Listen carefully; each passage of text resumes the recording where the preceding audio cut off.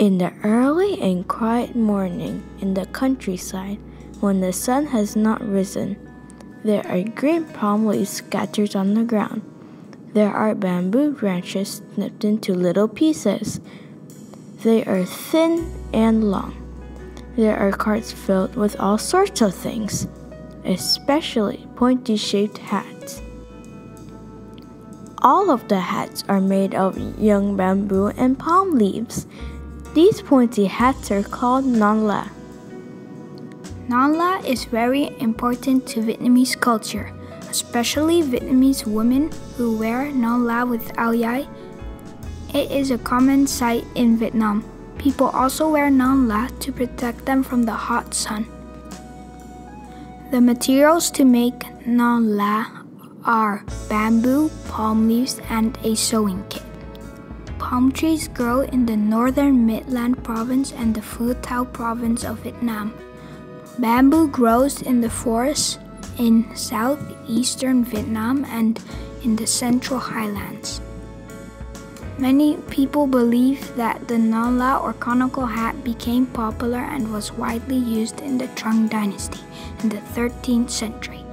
The non la has been part of Vietnam for a long time. If there is no non la, farmers and tourists will be disappointed. There are a few problems that the non la industry is facing. One threat to the non la is that the makers are not getting paid enough. People who sell non la only get $1.50, so young non la makers are going to the city to get better jobs. Another problem is that people who come to visit Vietnam mostly buy hats from big brands like Adidas. People do not buy non la because there are other hats to buy. Hello, what is your name? Yes, my name is Nhan. Say Nanda. Uh, uh, I think we can sustain uh, non la for um, for a long time because the non la is the uh, beautiful symbol of uh, Vietnam. As Vietnam becomes a more popular travel destination, more non la are getting sold as souvenirs. If this continues, it will help non la to be sustained. Also, the big brands in Vietnam can help the sustainability of the non la by selling them along with other big brand hats.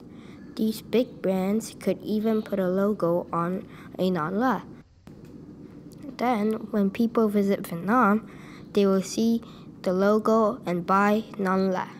Additionally, big brands should try to work together with local hat makers to help with advertising so the local la makers can get recognized.